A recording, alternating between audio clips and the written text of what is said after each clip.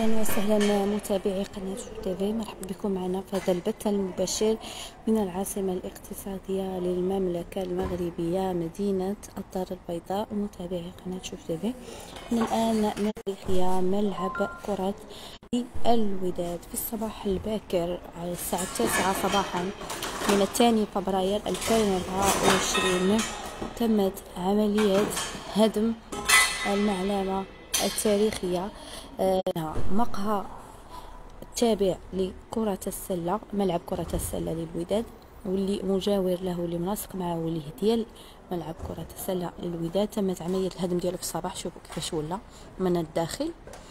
أيضا تم هدم جزء من قاعة المسيفة واللي لازالت عملية الهدم متواصلة. هذه هي قاعة المسيفة شوفوا كيفاش أصبحت. هاد الأثناء متابعي قناة شوف تيفي تم هدم ديالها في هذه الأثناء وعملية هدم قاعة المسيفة لازالت متواصلة في هذه الأثناء وفي هذا اليوم. آه، في حين انتظار ساعة الحسم وهي ساعة هدم آه، المعلمة التاريخية ملعب كرة السلة اللي غتم عملية الهدم ديالو في يوم آخر. الآن بداو في عملية الهدم وانطلقوا ابتداء من المقهى المجاور اللي هو مقهى تابع لملعب كرة السداد. أيضا تمت عملية هدم قاعة المسيفة للوداد. هذه هي قاعة المسيفة للوداد. تم هدم جزء منها وباقي هدم متواصلة. متابعي قناة شوف تيفي ها هي من الداخل من قلب ملعب كرة السلة للوداد. من المفترض مدير ملعب الوداد كان غادي يدير ندوة صحفية آه، في آه، يومه الخميس البارح.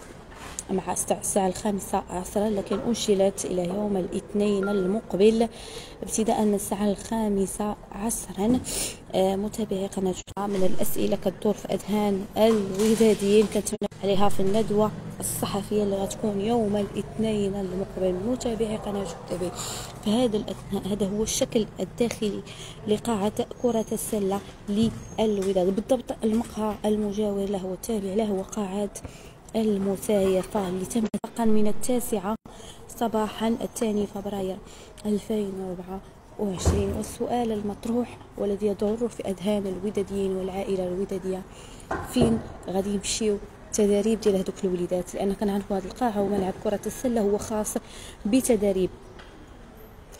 آه، فرع كرة السلة للوداد سواء على مستوى الإناث وعلى الذكور. أيضا هو محط للتدريب بالنسبة للمسيفة وهي قاعة المسيفة اللي تم هدمها كيكون محل تدريب ديالهم بالنسبة للإناث والذكور في المسايفه الآن فين غادي يمشيو هاد هاد اللي آه، في مجموعة من الفئات السنية؟ تيدربوا هنايا لا على مستوى رياضة ال basket أو كرة السلة أو على مستوى رياضة المسايفه ما كايناش الإجابة. كل ما يروج في مواقع التواصل الاجتماعي فهو مجرد إشاعة.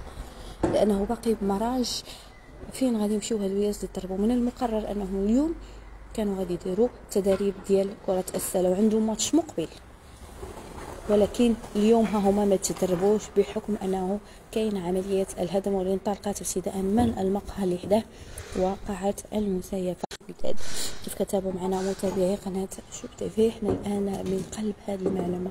التاريخية اللي انطلقت عمليه الهدم ديالها انطلاقا من الصباح الباكر.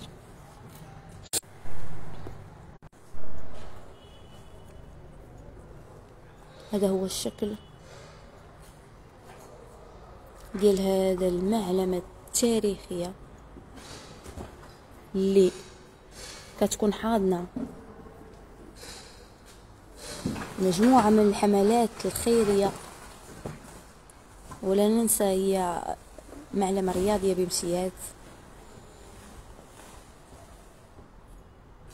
ذكريات جميلة تجمع العائلة الودادية السلة للوداد.